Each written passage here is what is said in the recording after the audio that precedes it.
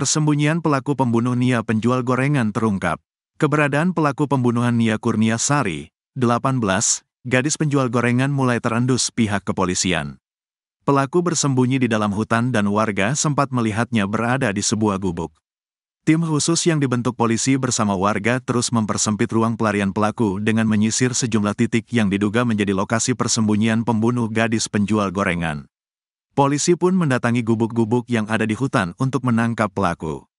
Petunjuk terbaru, polisi menemukan tas pelaku ketika sedang menyisir hutan.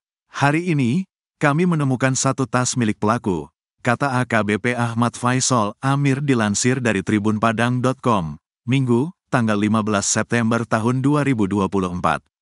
Namun, Faisal tidak merinci isi yang ada di dalam tas milik terduga pelaku. Ia hanya menyebut, isi di dalam tas tersebut berupa bukti pendukung terkait kasus pembunuhan gadis penjual gorengan berisi sejumlah barang bukti pendukung untuk meningkatkan proses pencarian, ucapnya. Kabit Humas Polda Sumbar Kombes Pol Dwi Sulistiawan mengatakan pelaku lebih menguasai medan dari personel kepolisian mengingat pelaku diduga warga sekitar. Hal itu yang membuat pelaku kerap berhasil melarikan diri saat polisi mengendus persembunyiannya. Jadi saat kita sampai di lokasi, diduga pelaku ini langsung melarikan diri. Makanya kita masih memburu pelaku, Ujar Dwi Sulistiawan dikutip dari tribunpadang.com pengejaran pelaku saat ini dilakukan tim khusus yang terdiri dari Ditreskrimum Polda Sumbar dan Polres Padang Pariaman. Pihaknya sudah berkoordinasi dengan Polres tetangga untuk membantu penangkapan pelaku. Keluarga makin tak tenang, tersangka pembunuh Nia ternyata residivis. Polres Padang Pariaman, Sumatera Barat, telah menetapkan IS 26 sebagai tersangka pembunuh dari Nia Kurniasari, 18. Namun setelah penetapan status tersangka tersebut, keluarga Nia yang warga kecamatan 1 kali 11 Kayu Tanam, Kabupaten Padang Pariaman justru semakin merasa tak tenang. Pasalnya mereka baru mengetahui kalau tersangka adalah seorang residivis. Is sempat dua kali masuk penjara gara-gara melakukan aksi kekerasan seksual. Is warga Kampung Korong Pasa Surau, Juha Guguak, Kecamatan 2 kali 11 Kayu Tanam, tersebut kini masih menjadi buronan polisi. Rini Mahyuni, kakaknya menyebut keluarga dan para tetangga di sekitar rumahnya kini tak tenang karena tersangka masih berkeliaran. Mereka takut kalau tersangka akan mencelakai keluarga korban atau warga sekitarnya. Pasalnya tersangka dikabarkan sering nongkrong di daerah itu, namun demikian tak banyak yang mengenalnya. Kami dan warga was-was karena pelaku masih belum diamankan. Pelaku masih berkeliaran, bisa saja keberadaan tersangka ini menimbulkan masalah baru, ujarnya diberitakan Tribun Padang. Rini sendiri menyatakan sama sekali tidak mengenal tersangka, dan belum pernah melihatnya. Pihak keluarga pun mengatakan bahwa korban sama sekali tidak mengenal pelaku. Namanya saja kami tidak kenal, apalagi melihatnya. Kami tidak pernah, ujar kakak Nia. Karenanya, Rini meminta agar polisi secepatnya menangkap Is yang bikin resah warga. Semoga cepat tertangkap dan mendapatkan hukuman yang setimpal, ujarnya. Hingga saat ini Is belum juga tertangkap oleh polisi. Ia menjadi tersangka kasus pembunuhan gadis penjual gorengan karena kesaksian tiga rekannya. Teman Is memberitahu bahwa pria bertato tersebut membuntuti Nia saat melihat korban berjalan pulang dari menjajakan dagangannya. Tak lama kemudian Nia dinyatakan hilang dan kemudian ditemukan terkubur tanpa pakaian. Dan semenjak itu, Is langsung menjadi buruan polisi. Namun pria ini diketahui mengenal wilayah sehingga terus mengelabui polisi. Namun sejumlah jejak telah ditinggalkan dengan sejumlah bukti yang semakin menguatkan bahwa Is adalah pelakunya. Kasat Reskrim Polres Padang Pariaman, Ibtu Aregi menyatakan pihaknya terus memburu Is. Kami terus melakukan pengejaran terhadap tersangka, kata Regi. Sepak terjang Is tersangka pembunuh gadis penjual gorengan, dua kali masuk bui. Reskrim Polres Padang Pariaman, Sumatera Barat, akhirnya menetapkan tersangka pembunuhan gadis penjual gorengan. Tersangka pembunuh Nia Kurniasari tersebut berinisial IS, yang juga warga Padang Pariaman. Berdasarkan fakta, barang bukti, dan keterangan saksi, kami telah menetapkan tersangka dalam kasus ini dengan inisial IS, kata Kasat Reskrim Polres Padang Pariaman, Ibtu Aregi, melalui keterangan resmi kepada tribunpadang.com pada Minggu, tanggal 15 September tahun 2024. Regi mengatakan, polisi saat ini terus melakukan pengejaran terhadap tersangka. Kapolres Padang Pariaman, AKBP Ahmad Faisal Amir, mengatakan pihaknya telah menyisir sejumlah lokasi yang dicurigai. Penyisiran ini melibatkan tim gabungan serta masyarakat yang menyusuri beberapa titik yang diduga merupakan tempat pelarian tersangka. Sejumlah barang bukti pun telah ditemukan salah satunya adalah tas milik pelaku. Di dalamnya ada barang bukti pendukung lainnya, kata Faisal. Sebelumnya sosok Is telah diungkap oleh sejumlah orang. Keluarga korban juga disebut mengenal pelaku dari wajahnya, karena sering lewat di depan rumah korban.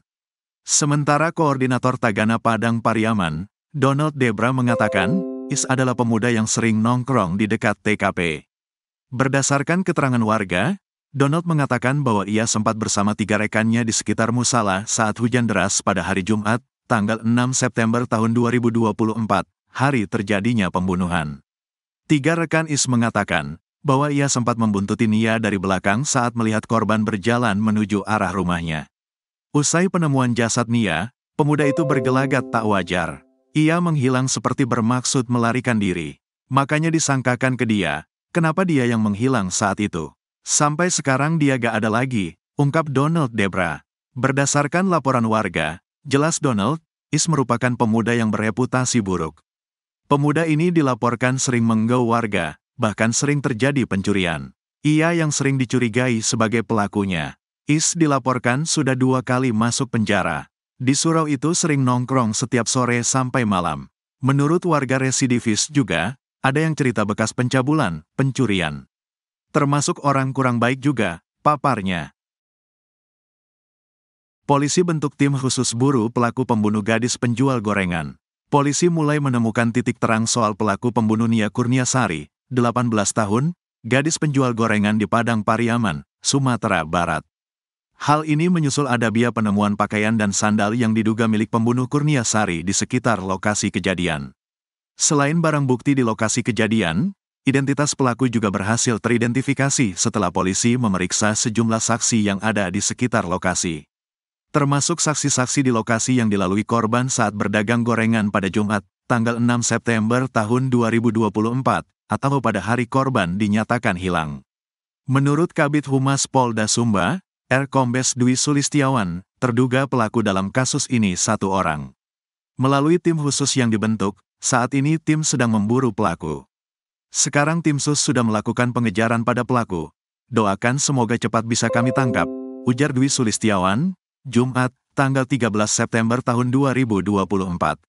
Polisi menyebut pelaku cukup licin untuk ditangkap karena menguasai medan tempatnya bersembunyi. Sehingga, setiap kali polisi hendak menemukan keberadaan terduga pelaku, ia kerap berhasil melarikan diri terlebih dahulu. Proses pengejaran sudah kami lakukan, tapi terduga tersangka ini cukup lihai karena lebih mengetahui medan, ucapnya. Dwi berharap masyarakat bisa mendukung dan mendoakan pihaknya agar bisa bekerja maksimal dan segera menangkap pelaku. Nia Kurnia Sari diketahui menghilang pada Jumat, tanggal 6 September tahun 2024, sore. Nia pada hari itu menjalankan rutinitasnya berkeliling kampung dengan berjalan kaki menjajakan gorengan. Biasanya, Nia berjualan dari pukul 16 waktu Indonesia Barat hingga pukul 18 waktu Indonesia Barat.